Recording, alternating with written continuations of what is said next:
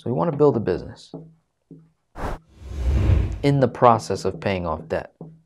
They got all that money sitting there doing nothing. Some fundamental things that we could incorporate is we could look at the infinite banking concept. We could. We could take, you know, maybe, uh, so I'll put the build a business on this category, and then I'll put IBC on this side, call it the legacy plan. What I like to call it, the kingdom plan. Okay. Legacy plan, kingdom plan, IBC. What is IBC? It's another debt tool, but it's something that you create you become your own banker. You copy what the major corporations and institutions are doing with their money to multiply your money that you give them every single day via your paychecks. Right? So all we want to do is redirect where we're putting our money and then send it back out to make more money. So preferably when I'm dealing with older clients. I look at the youngest out of the spouse, out of the two. I look at the youngest, healthiest, right, to incorporate the infinite banking concept because you're dealing with life insurance. Okay? Let me be clear life insurance is not an investment, it's simply an asset. It's simply a place to store money safely, grow and compound tax free right? So it's not an investment. It's an asset class. Right? We call this tier one, is what the banks call it. There's their tier one out asset. This is where banks and corporations store their cash. A lot. So banks don't store their money in the bank. Can you believe that? Can you believe that? They put their money in these high cash value life insurance policies called BOLI and COLI, bank owned life insurance, corporate owned life insurance. This is what the wealthy do. Pay attention to what the wealthy do. Even the Bible instructs us believers to go make friends with the rich, to learn what they learn and do what they do to be effective kingdom citizens on planet Earth. Right? Probably won't learn this in church because the church has failed to explain in detail. They focus too much on tithing, and this is why a lot of people have been walking away from church. They've been walking away from their faith and they just they rely on this money and the money is not something to rely on. Let me be super clear. Money is not the key to happiness, but it'll buy you things, okay? Money is not the key to solving your purpose in life but it'll solve problems. It'll solve things, but it won't solve you. You got to get you going. Okay, so here's another uh, tool that this couple can put into place. And typically, I would probably put it on the wife. She's younger, and women statistically live longer than men by a couple years, I think at least a decade.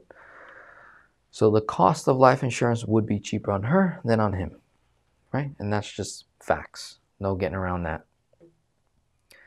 Not an investment, it's an asset class. Simply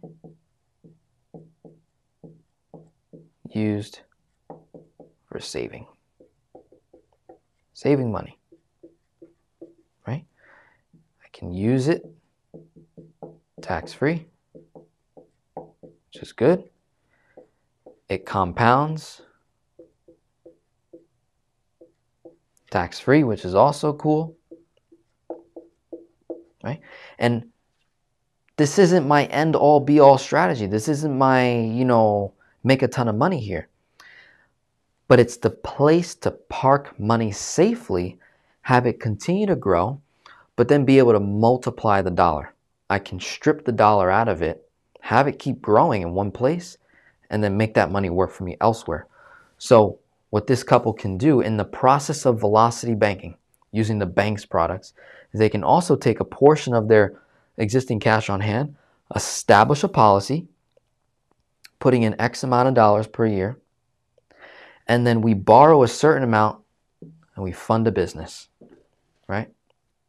Now, maybe not a brick and mortar, but in the 21st century, I think one of the best businesses to start is probably an online business, right? An online business, right? Home based business, right? You got e commerce.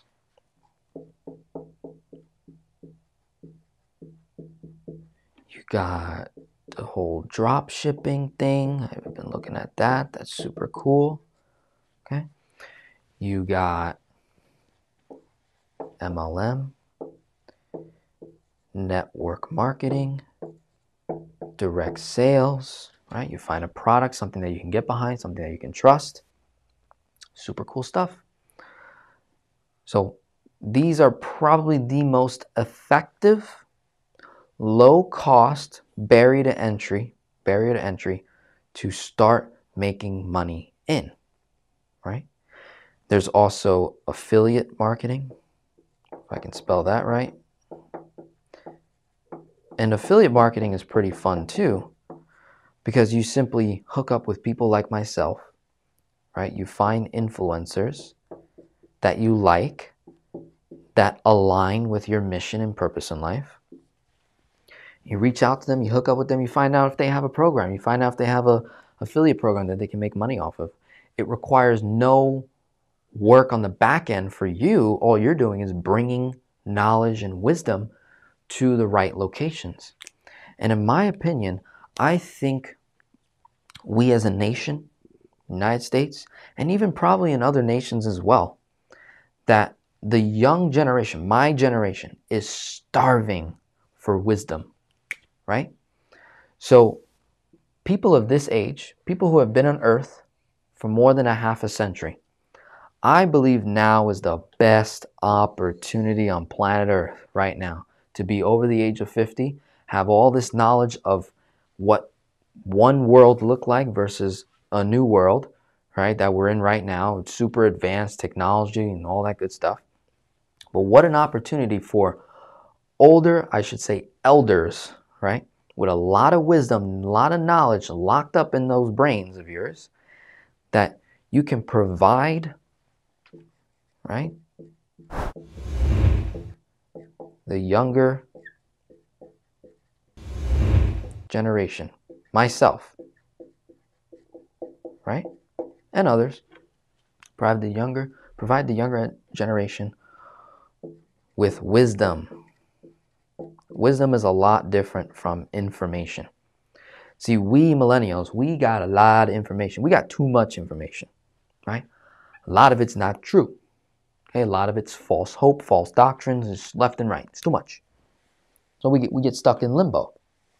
And we get accused of being the lazy generation. It's not true. We're actually very, very um, caring. We are passionate. We want to make an impact, right? So what all millennials say, oh, I want to make an impact, right? But the problem is we don't have the wisdom. We need the wisdom. And people like this, who have problems like this, finances, you're killing us. Right? So not only are you affecting your life, but you're also affecting the next generation. You're killing us in the process of you not expanding beyond your initial interpretation of a thing. Right? You're too stuck in your precepts, your concepts, your ideas, your philosophical beliefs are preventing a lot of people from expanding and being, you know, just being, right? Being in the process of success and providing that wisdom that you know, that you're aware of, all that wisdom that you know, you're aware of. We want to be able to provide it to younger generation. So I think there's a big, big, big, big, big opportunity at hand. You No? So those are some of the things that I would recommend this couple to do. This is a powerful thing to engage with. Like I said, I think the most attractive businesses today, right now, are probably online business, right? Home based e commerce, drop shipping, uh, Shopify, uh, all those types of uh, network marketing companies and multi level marketing companies. All good stuff. Kings and queens take action. Okay?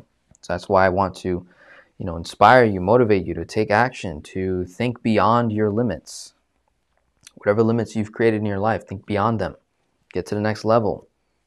There's people that need what you have, right? All that wisdom that's built up. How do we transition that into a business, create wealth, get out, get out of all this bad debt, maximize our money? Okay? So I'm just going to finish my point over here of an additional thing that this couple can do with their pre-existing cash that's earning 0%, right? So whatever that cash was of savings, which is probably about 20 to 30 grand is actually savings. And let's say they save 20 to 30 grand a year. All I would do is just redirect their savings and put it into something that's going to earn anywhere from 4 to 6% tax free, right? We just want it to grow steady, consistently, right? We want to provide a legacy plan. This will help us incorporate estate planning, which nobody talks about, by the way.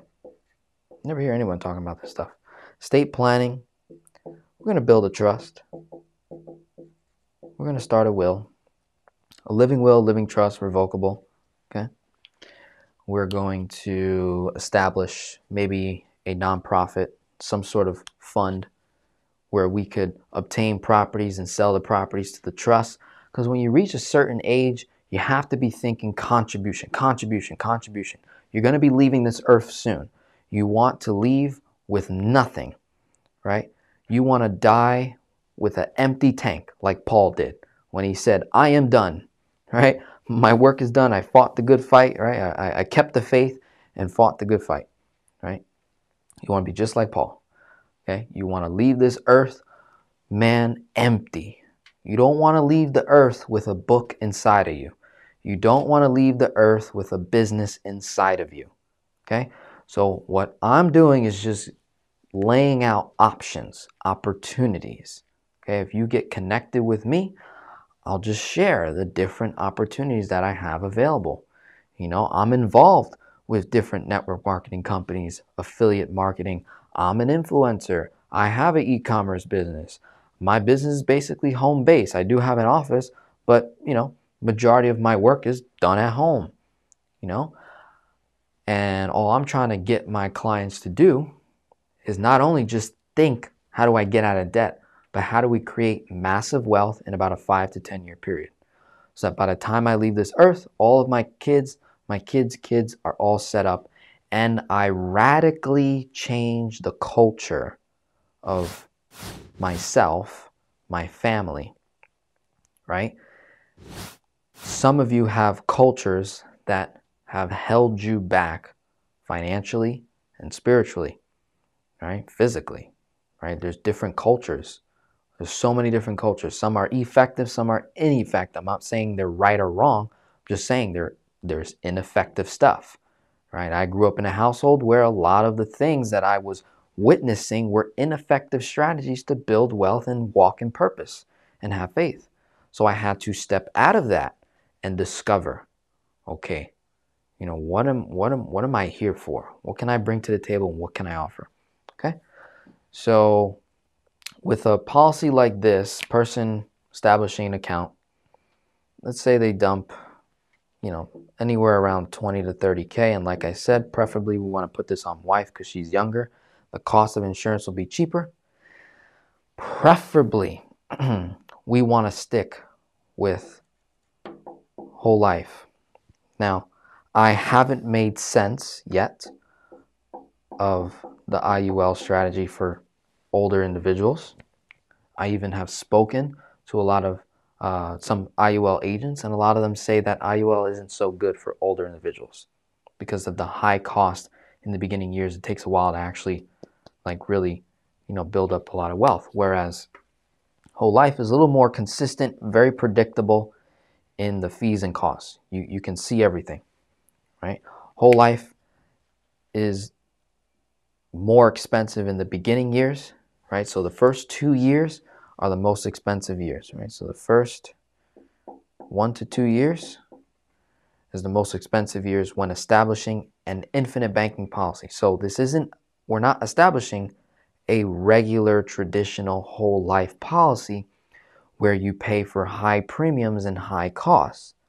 We're not trying to do that. Again, you want to unlearn and relearn this new concept that can, you know, help you think very differently. You want to analyze the positives and the negatives of, of the infinite banking concept. What are negative people saying about it? What are positive people saying about it? What are neutral people saying about it? Look up the data, right? Just research. Do not rely on one source. Do not rely on one person to tell you everything. Right? You, you want to verify. So if you're going to be following an individual, you want to verify that information, right? By looking it up, Google, go to the direct companies that they're recommending or talking to. Uh, this way you can become an informed prospect, an informed customer. So you never get fooled. This is what I like to tell my clients that work with me is that everything that I teach, I'm showing you how to do it. Once you get it and it clicks, you can never be fooled. Not by me, not by anybody else when it comes to your money. You'll never be fooled.